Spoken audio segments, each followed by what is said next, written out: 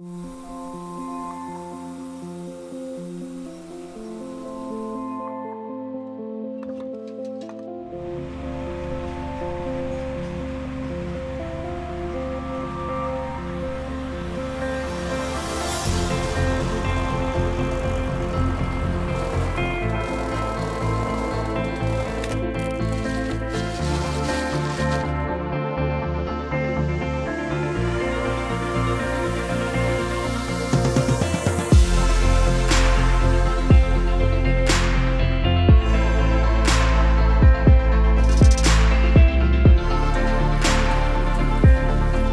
One major benefit is that these fibers are usually waste.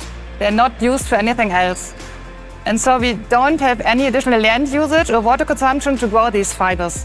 This is a footrest at the current focus, and there we had the opportunity to test it under real conditions.